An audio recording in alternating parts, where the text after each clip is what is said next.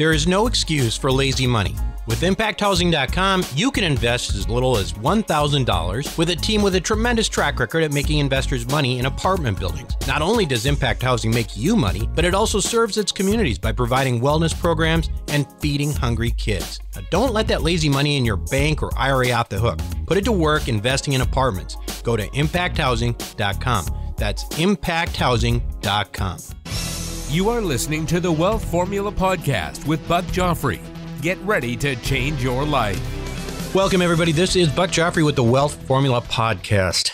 I'd like to start out today by drawing your attention to wealthformula.com, where there are an abundance of resources for you in your financial education journey. Amongst them is a free copy of my Amazon number one best selling book, Seven Secrets of Eternal Wealth, which you can go to Amazon and buy, or you can get it for free at wealthformula.com. You can also just text me 44222 and type wealth formula. Again, that's 44222 wealth formula. That's just one word. Don't let the autocorrect screw you up. And when you do that, you will get a free copy of my book in PDF format. Lots of resources there, right? I mean, you can use ways to save taxes, got downloads on passive cash flow investing and uh, multifamily, et cetera, et cetera. There's also a free book from my friend George Newberry Burns owns, the book that every real estate investor must read, The Good, Bad, and the Ugly in the glamorous or not so glamorous world of apartment investing. So, taking it to today's show, today's topic, I want to start out by recalling that in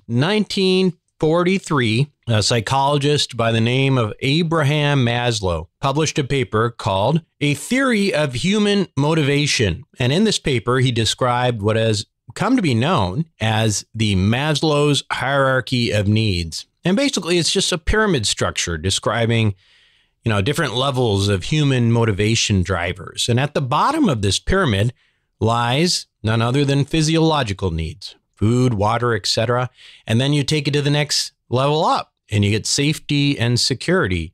Basically, listen, you need a roof over your head. And the pyramid continues upwards to its pinnacle, which is self actualization, the ability to focus on one's mission in life. And I call this true wealth. After all, it's tough, ladies and gentlemen, to focus on your mission in life when you're trying to put food on the table and trying to keep your family safe from animals and infectious disease all at the same time. Now, make no mistake, trouble finding one's mission in life is a first world problem. Okay, we've got some of us have got first world problems. Now, let's apply some of these principles to investing. Now, in tough financial times, where should you focus your investments? Well, this is not that easy of a question, but maybe low income housing makes sense. Now, the problem with low income housing is that it is often pretty difficult to manage. And anybody who's been in real estate and multifamily real estate or single family homes knows. I can tell you from personal experience with the first apartment building I ever bought, low income housing usually, now I say usually, looks better on paper than it does in reality. Now, understand, I am not made to be a slumlord. I mean, that's just not me. My father, on the other hand, made millions of dollars throughout his life collecting rents with a baseball bat in one hand, but I didn't get that gene, folks. Now, if you can find people who are really good operators in this space, there is a lot of money to be made, and you can actually do a lot of good for communities at the same time. And one of the few operators in the low income housing space that I trust is a guy by the name of Michael Ayala. Now, Mike and his colleagues are killing it in the mobile home park space. So, when we come back, Mike Ayala is going to tell us how Maslow Level 2 investing can help your portfolio. Are you having a hard time finding great investment properties? Unfortunately, the best deals are rarely found locally. Successful investing begins with the right properties in the right markets. Norada Real Estate provides everything you need to invest in the best deals across the United States. Our simple, proven system will help you create real wealth and passive monthly cash flow. Learn how to find the best deals by downloading your free copy of The Ultimate Guide to Passive Real Estate Investing at noradarealestate.com. That's N O R A D A realestate.com. Welcome back to the show, everyone. Michael Ayala is managing partner, COO and head of development at Four Peaks Capital Partners. Now, Mike has been an active participant in construction and management since he was 15 years old. And by the age of 24, he found his first construction company and has been involved with over 2,000 projects totaling over a billion dollars. And in that portfolio includes hospitals, courthouses, federal buildings, casinos, mills, gold processing facilities, civil projects, multifamily homes, and shopping centers. Now, of note, one of Mike's construction startups was so successful that it was included in the Inc. 2009 2,500 fastest growing companies in America list before he sold it. He's also the owner of 160 mobile home lots, has renovated over 500 units, and manages over 1 million a year in rents under management. So, with all that, please welcome my good friend Mike Ayala. Welcome, Mike. Thanks for having me, Buck. Mike, how old are you? I am going to be 39 in a few days. Yeah, I'm gonna say, well, you know, you're you're aging really well. You've got great skin, etc. But I will tell you, this is an, an unbelievable amount of accomplishment by 39. So, congratulations to you, my friend. Well, I appreciate it. Thanks Now- for, thanks for the kudos. Yeah, yeah, of course. Fill us in on it, though. What's your story? And you you had uh, what was your path that led you to this whole glamorous world of mobile home parks? Yeah, well, you you kind of alluded to some of it already, but essentially in 2004, I was 24 years old then, and I started our first construction company with a with a partner, which we grew pretty quick to over 100 employees in a short period of time, and ended up on the Inc. fastest growing companies in America list in 2009, which, by the way, is a, a goal to hit again, and and I believe it at Four Peaks we can we can do that. So we're pretty excited about that. Anyway, so I've always kind of had a, a knack and a desire for entrepreneurship, and really through previous jobs and then the, that company that we founded in 04 became pretty good at operations and but you know the one thing for me I, I knew that I didn't want to you know be 70 years old running my one company for the rest of my life and also knew that we had to you know look into diversifying and that's when the purple book that we always talk about fell into my hands. I got my hands on rich dad poor dad around 05 06 and that, that kind of started to change my whole paradigm. My wife karen and i we decided at that point in time that this was our big goal. We, we decided that we'd buy two income producing properties a year for you know the next 20 years and that would kind of you know set us on a path to uh, basically what we thought would be financial independence and I, I didn't completely understand leverage at that point in time. So, you know, we figured we'd get some mortgages and after we paid them off in 30 years or after the tenant paid them off in 30 years that, you know, that would kind of help us with retirement. And I figured if each one would, you know, clear us $100 a month, we'd, we'd be okay at the end of it. And so that first year we went out and bought our first two rentals and ended up getting a commercial building that uh, we rented to our first company. And, and then out of nowhere in 2006, it might have been early 07. And this opportunity kind of fell in my lap. It was a 72 unit mobile home park. And I'd been pretty good friends with the manager, and our company was doing quite a bit of work in the park. It needed a lot of maintenance and was kind of in disrepair, as a lot of the parks that we buy are, and been doing quite a bit of stuff in it. So then in 07, the investor that owned the park out of Las Vegas ran into some financial difficulties kind of leading up to the crash. And the, the manager called us and, and said that she needed she needed out ASAP and wanted to know if we were interested in it and asked him what the story was. And he basically said she needed $80,000 cashed out and there was a first position note on it, assumable at 7%. But the, the kicker was she needed to close in 15 days. And, you know, I didn't, I had a little bit of real estate experience, but not much. We just bought our first rentals. And so, you know, I was kind of thrown for a, a loop there, but I, I knew it was a good deal. And the fact that she needed to close in 15 days was a little scary to me, but we, we knew the park. Title company said they could make it happen, barring any, you know, blemishes on title, etc. And so being out of my league, I, I did what we all should do if, if it's not our natural tendency. I, I went to a mentor and asked him about the deal, and he gave it a look and basically said I was lucky that we were friends, or he would have taken the deal from me. So we went out and put it under contract, and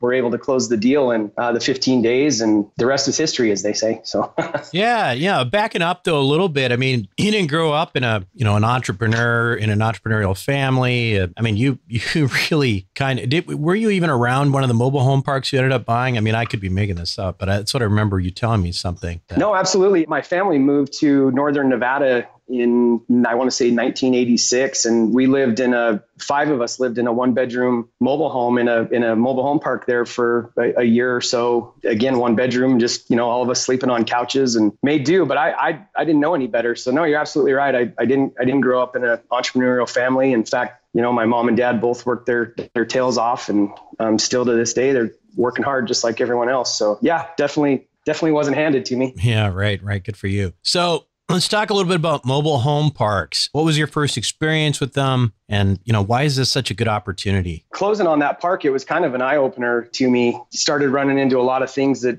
it, it's kind of interesting because a lot of these mobile home park owners, they they're basically you know, ma and pa operations, as we call them a lot of times. And the things they do in there are quite interesting. I, I tell this story quite a bit, but we, that first winter, we started having a bunch of lines freezing and we didn't know why. And come to find out the previous, one of the previous owners had actually, when a line would break or freeze or whatever, they'd dig a six inch deep trench and run garden hoses. And that, you know, that's the kind of stuff that you run into quite a bit with these mobile home parks on the negative side. But there's a lot of reasons why we're optimistic on them too. As long as you go into it knowing what you're doing and, and have the resources available and you have the right team in place, they, they can they can be a great asset and a great investment. So, you know, talk a little bit about the demographic. I mean, why is it a good time right now, or is it? And again, why mobile home parks as an asset class as opposed to apartment buildings? Or is there something going on right now that would make it something to consider? Yeah, there's actually quite a few things specifically with the mobile mobile home park. We're optimistic on it for quite a few reasons. I mean, number one, it's it's real estate. There's a lot of reasons for that, and we can go into that a little bit more. But some of the things that we re- really like, I mean, there's there's a, a giving back part of it. You know, 50% of Americans live on less than $600 a week, and state of the economy and the way everything's going, I mean, that's only getting worse. And so, affordable housing is is very needed in our communities and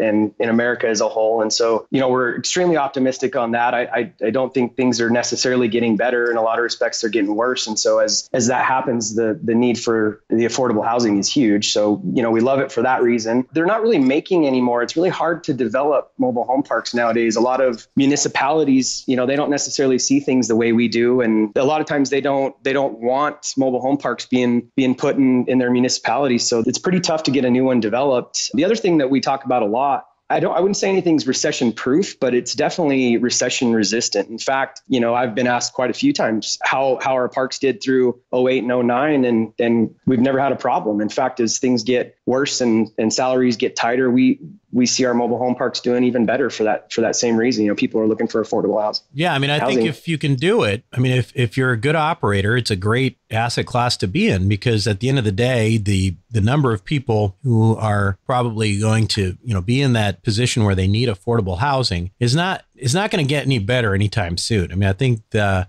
writing is on the wall there that you know the middle class is shrinking. Either you got a lot of money or you got no money at all. And like you said you've got a demographic and you've got the shortage. They don't really make them anymore because of who wants a mobile home park in your neighborhood. If you got a nice home and stuff it sort of brings down this perceived value right? Right. That's correct. Yeah. So now let's talk a little bit about how do you, you know, this is something I don't know a whole lot about, obviously just through you and Andrew, but now how are these assets? Like how are they, how are they set up? Because I mean, there's the land component, there's the, the, the homes, although the homes themselves are not, they're not like permanent fixtures, right? How do you look at this as an investor?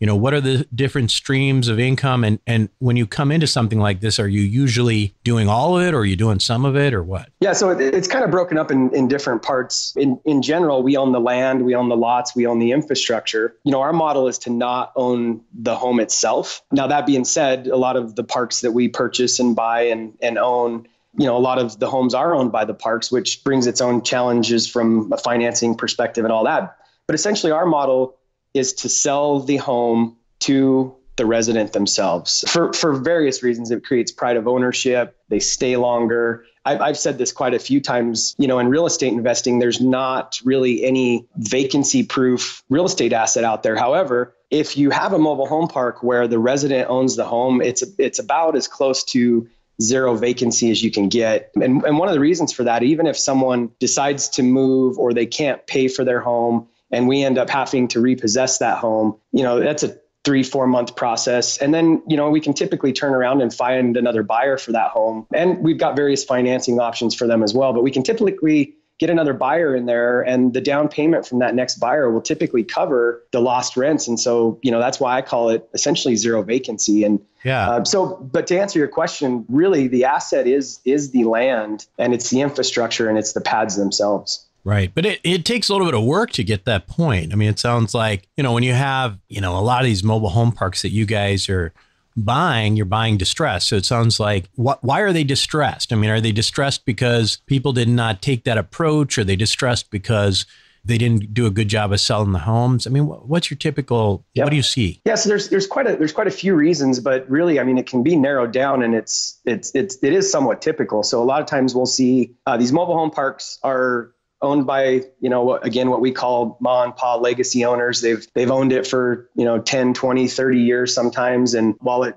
probably did good for a long time as as time went on they know they know Jimmy down the street and and and they're sensitive to why he hasn't been paying his rent. And a lot of times they're not they don't have the processes or the team in place. And and so they're not really good at collecting rents and t- treating it as a business versus you know friends and and and again just a ma and pa outfit and then the other side of it too over time uh, you know, a lot of these homes have either been so destroyed because of the rental model or they were moved out, you know, as someone owns the home, they get the home paid for, and then they buy a piece of, you know, a one acre land outside of town and, and they move the home out themselves over the years. And, you know, so a lot of times these parks that we're buying are, you know, 30, 40% occupied. And we turn these parks around through uh, several different ways. But, you know, one of them being we've got a construction company, we've currently got crews in five different states. So we're able to rehab homes that other operators wouldn't be able to rehab. And the other side of it too, we've got a we've got a pretty cool relationship, which we can go into if you want to, with uh, Warren Buffett. He's he's pretty optimistic on on this space, and so we've got a setup where you know we can actually bring in new homes in a pretty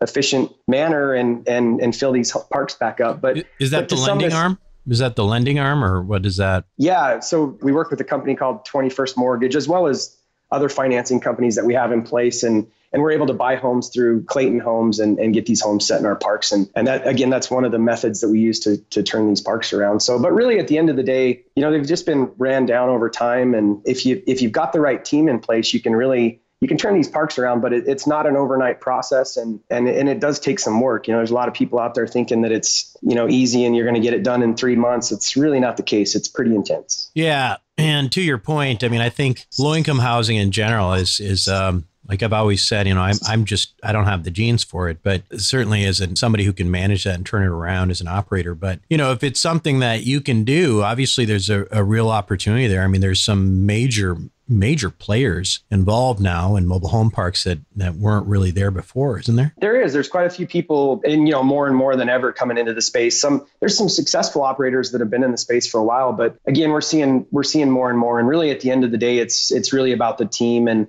not not that you know we want to go too far into this, but we've we've got an entire company called Park Place Communities that just focuses on the management and the turnaround of these parks. And and we've got a great management team. We've got a great construction team. We've we've got a great sales team that their entire focus is inventory and selling these homes. And so we've, we've got quite a process we've built out right. over the last year or two and it's going pretty well. What if anything i mean i mean you mentioned a little bit about the fact that it's a lot of work right? Is there any other real negatives to this asset class from your perspective? We've touched on some of it but it definitely you know it requires a different skill set to manage. They're very management intense. Another one of the real downsides, if you're not aware and you don't have the right team in place, every state for the most part has different regulations on number one who who manages manufactured housing who oversees it. Some states it's the dmv some states there's a specific entity that's created just to oversee manufactured housing so it's it's pretty um it's a business it's, yeah. Right. Um, i mean i think that's one of the things that i think people kind of don't see but sometimes you know these opportunities they look they look like wow they're getting better cash flow. Yeah but it's also more work. And and and typically with a business is it if you do it very well like you guys do you can make a lot of money. But it's a business, right? That's correct. That's so, correct. And and you know, one of back back to the you know the statement you make about it being a business. That's one of I've got a lot of friends that are investing in apartment complexes, and and you know, apartments are a great asset, but you can pretty much go into any market and buy an apartment complex and find a property manager, and that's right. not necessarily the case with mobile home parks. For the most part, you're not going to be able to just go out and and find a mobile home park and then hire a manager to operate that and turn it around for you. So the reason why we're so optimistic on mobile home parks is really that fact that we've got the team in place as well. That's a huge part of it. So it, you're yeah. right, it's a business. So tell me about tell me about the company. So with the overriding company is Four Peaks, but there's sort That's of different parts of this. How, how does it all work? That's correct. So we've got a we've got a company called Four Peaks Capital Partners. I've got two amazing partners, Andrew Lanoie and Mauricio Rauld, to just phenomenal backgrounds and couldn't ask for a, a, better team to work with. So Four Peaks is our equity company and and you know we work with investors through Four Peaks. We raise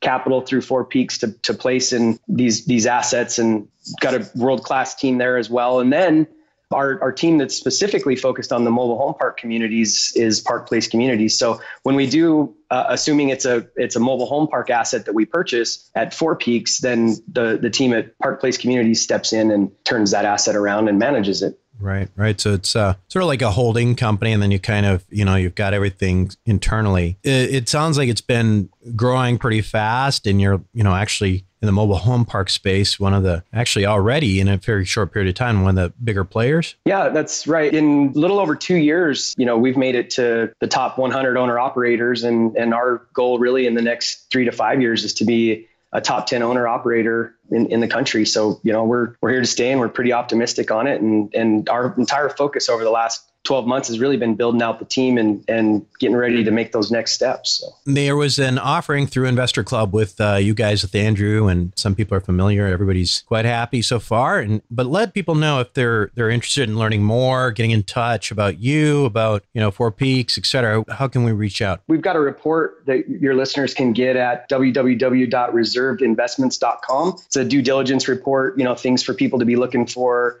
with investments and companies that you're going to be investing with, make sure that you know they're looking at all the right things for due diligence. So our, our website's www.fourpeakspartners.com and that you can reach that, out to us is that way. the number four or the is it written out? F O U R. Got it.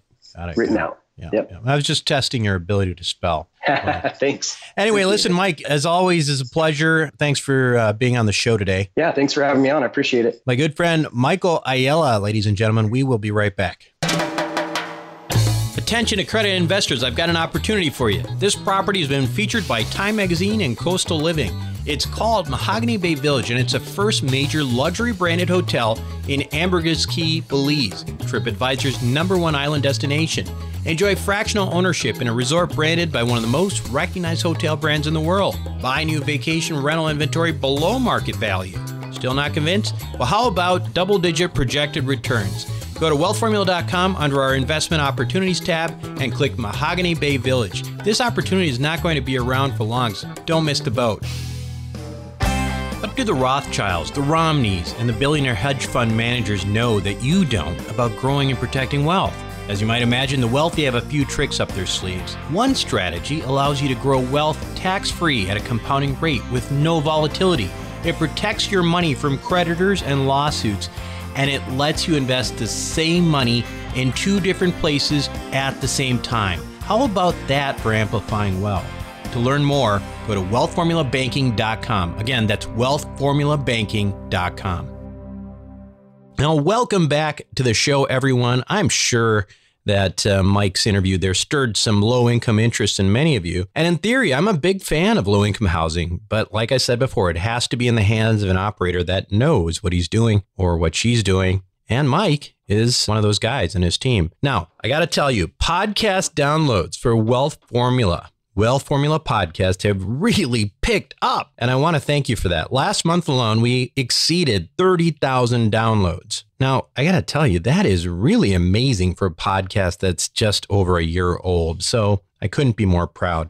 The great thing, too, is that that means that you are getting value from the show, which is what my first world problem is. You know, it's not my first world problem. It's my first world goal in life. It's my self actualization point. And that is that I want to make a difference for you. Now, going back to those podcast numbers, one of the reasons the numbers are growing at the pace they are is because more and more of you are subscribing and leaving me five star reviews on iTunes. And I appreciate that because not only are you doing me a favor, but you're doing other people a favor. You see, every time you do that, I mean, that's what iTunes looks at as it ranks a podcast higher. And more and more people are now finding me just organically than necessarily just, you know, hearing from another friend that it's a good show or hear me on another show. A lot of people are finding it organically on iTunes, and that's really exciting. So if you like what I'm doing, please go to iTunes and tell the world. Here's a good news, man we have some pretty amazing shows coming up in the next couple months, and I want to touch as many people as I can. And there's just lots of stuff going to happen this next year, so I'm pretty excited about it. Anyway, thank you for listening. This is Buck Joffrey with Wealth Formula Podcast, signing off. Thank you for listening to the Wealth Formula Podcast. Visit us on the web at wealthformula.com. The information contained in this podcast are opinions, not fact. As always, consult your own financial team before making any investment. See you next time.